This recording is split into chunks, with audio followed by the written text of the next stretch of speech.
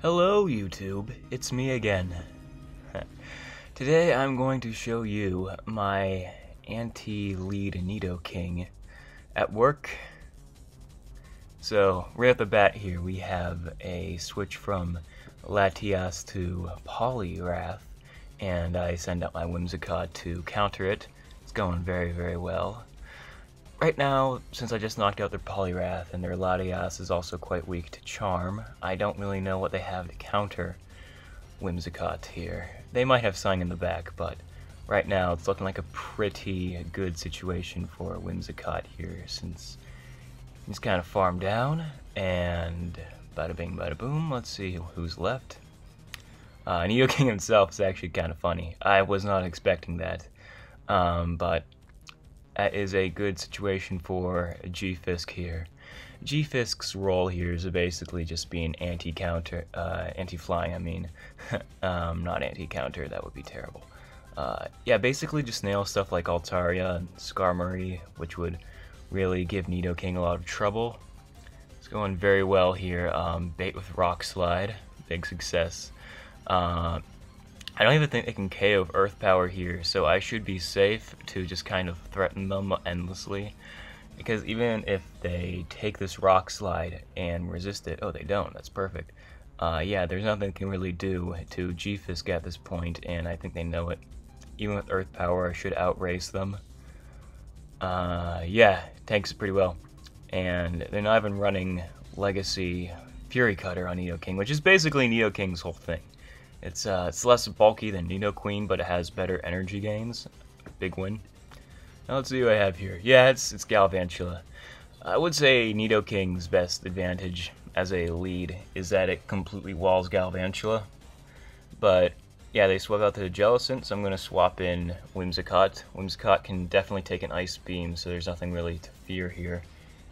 They could try baiting Bubble Beam. They did not do that. But yeah, Whimsicott is uh, He's doing very well. Completely walls their bubble, of course. Uh, probably going to shield here. Yeah, I'm going to shield here and go for a grass knot. Um, I actually don't know if I even need to do that. I could just farm down. Uh, sorry, it's been a while since I've actually done this. I haven't recorded voice lines for this for uh, definitely a while now. So I'm just going to threaten whatever comes out next.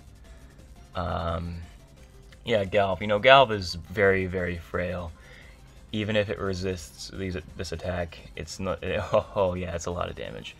Um, I think Nidoking can just come and farm down. Yeah. Uh, oh, Stunfisk. Yeah, like I said, uh, I actually recorded all this footage about a month ago. Honestly, it's been a really long time, but um, yeah, I haven't been able to add commentary this for a while so yeah, the income Serperior, but this is a really great matchup for Nidoking. As soon as the lag stops, man, that was some bad lag. Um, I'm just gonna see if I can get a shield Frock slide here, um, because Serperior's Frenzy Plant, I mean, it's neutral. Nidoking does not want that. That would be very bad if Nidoking had to take a Frenzy Plant. Um, Serperior kind of just uses it anyway. Uh, so yeah. Um, I know what else to say. Just gonna watch it happen. Go for it. Goes another rock slide. In comes Nidoking, the shield advantage. Uh, is this is what's gonna happen though? I think is gonna happen. Yeah, I think so. Oh, here it comes. Oh yeah, that was awesome. Yeah, it's it's it's no uh, boom, but you know it's. I, I was pretty happy with that. Now I don't even really need a shield here. I probably could have gone for a flex, but um, yeah, I guess I felt like playing it safe in case he had Energy Ball or something, which is rare, but it does happen.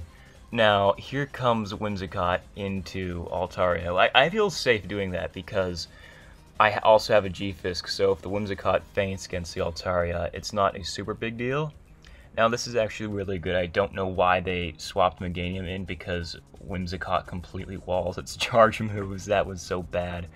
Uh, yeah, just gonna see if I can nab a shield here. Um, probably can't. I can, that's good. That's real good. Um, and Whimsicott, I think, is still to faint to this, even though it resists, just because Frenzy Plant is a great move. So Nidoking's going to come in, try to farm down. Can... Yeah, I'm to farm with this. and yeah, just shield that because it's going to do a lot of damage.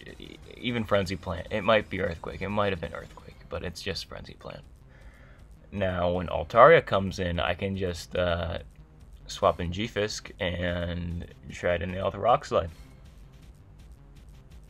I don't even know what they have in the back. like I said, it's been a while since I recorded this footage. It could be something that really fears G-Fisk. It's a Azumarill. Oh, this is bad.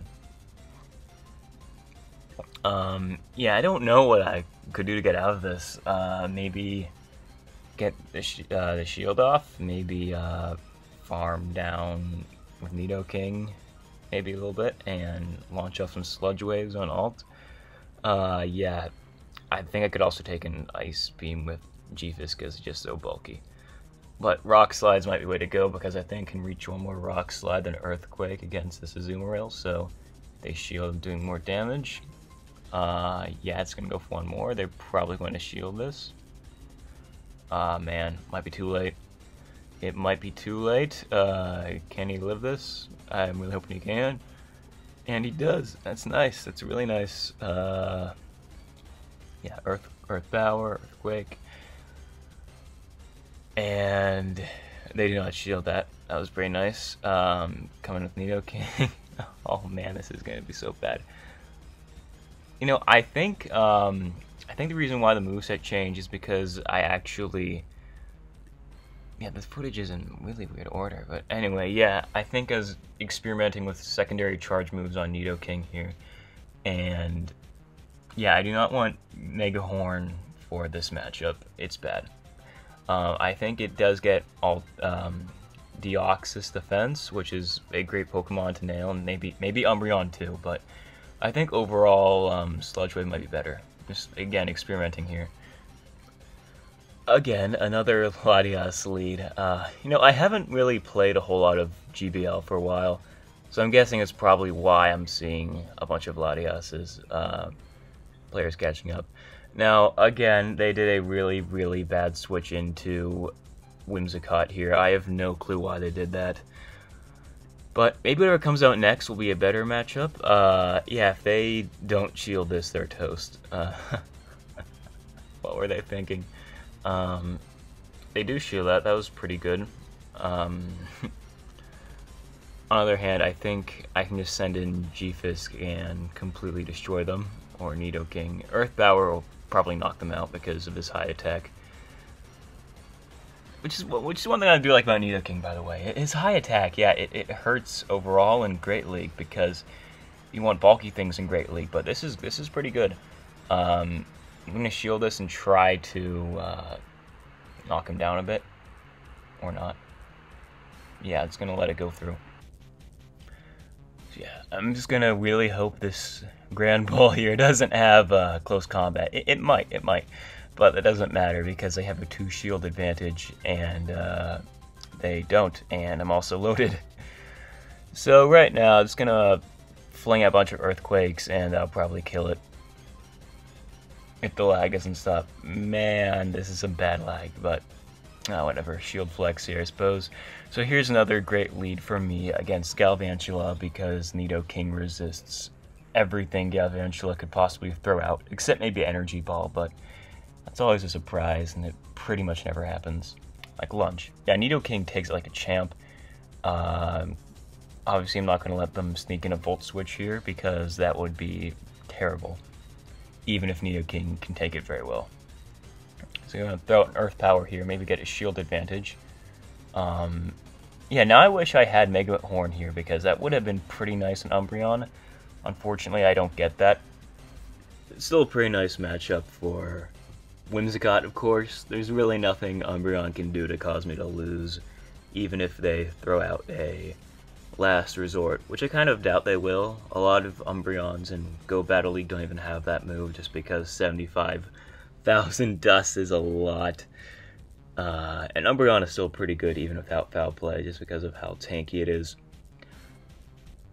Without last resort, damn it. anyway, yeah, there's not really anything Machamp can do either. Whimsicott is amazing, of course, but this isn't a Whimsicott video, this is a Nidoking video, so I'm not going to try to sell you on it. Everyone knows Charmers are good. Uh, is really no exception, of course. And I can get a lot of energy on this guy just because Machamp's counters are resisted. Ooh, payback. Yeah, I didn't even think people would run that in Great League. I thought that was just an Ultra League move, basically. But I, I guess some people are running that, and if it works, then that's great. But that that did not work. Um, I'm just gonna try to go for an Earth Power here, and that should either knock it out completely or just do a hell of a lot of damage. Uh, lunge, I guess, will hurt a little bit. Anyway, let's see how much Earth Power does. I'm willing to bet it puts it in red, even with the attack drop, and it knocked it out. Awesome. Thanks for watching, everyone. Uh, take care. I'll see you later with more spicy goodness.